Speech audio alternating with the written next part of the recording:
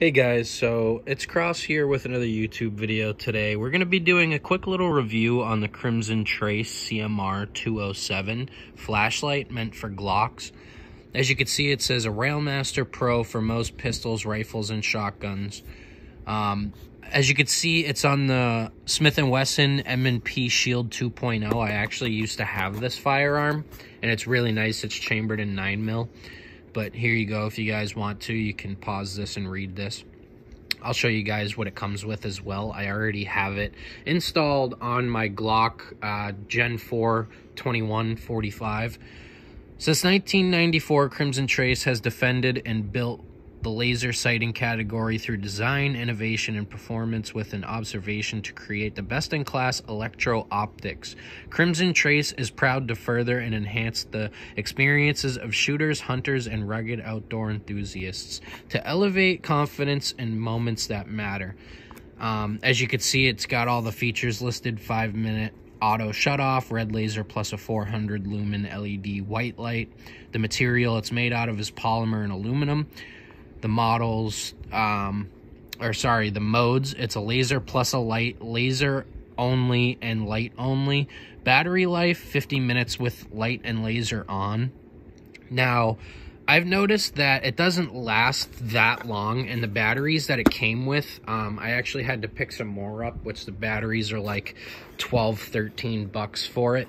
If you're lucky, you should just like buy um, rechargeable ones, honestly because that would do the best um, for this. But you can also email Crimson Trace as well, and they'll send you free batteries every month, which they've already sent me some, and I'm thankful for that.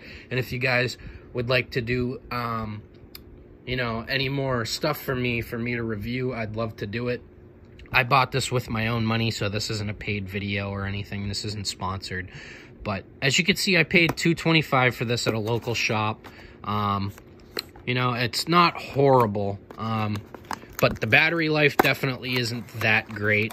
Um, it comes with a sticker as well, and it comes with a few other things. Um, you know, it comes with the Crimson Trace um, quick start guide. If you guys are looking to get into this or something like this, it comes with one battery as well. And I'll show you guys how to use that. It also comes with a adjustment tool as well and some cleaning stuff. Oh, that ripped through the bag. Oh well, but we'll get right into the gun. So, not loaded, not chambered. This is what it looks like. If you could see that little pin right there and down here, let me try and get this to focus. That's where you adjust the laser for it.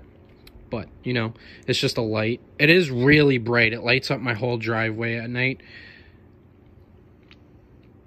As you can see the light, the laser is down below the light. And in order to activate the light, you hold both sides right here. Sorry, to activate the laser. And the laser's pretty... I was going to swear, but I won't. It's pretty bright. Sorry, guys. The video cut out on me, and I had to make some more storage on my phone. But, yeah. So you just hold both sides and you could do a laser and a light combo. I don't know how well you could see the laser, but it is there. It is on, as you can kind of see that. And it is really nice. You just got to hold it to switch modes. But yeah, I mean, it's pretty nifty. It's a pretty nice light. I definitely recommend it, but I would definitely recommend getting some better batteries for it.